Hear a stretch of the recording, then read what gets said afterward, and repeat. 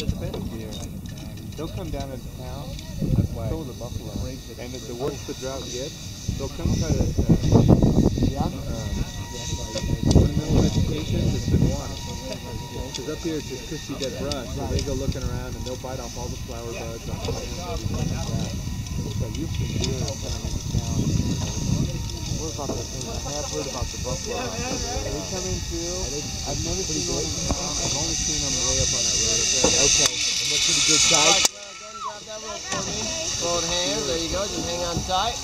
And let's get you in, up to the top.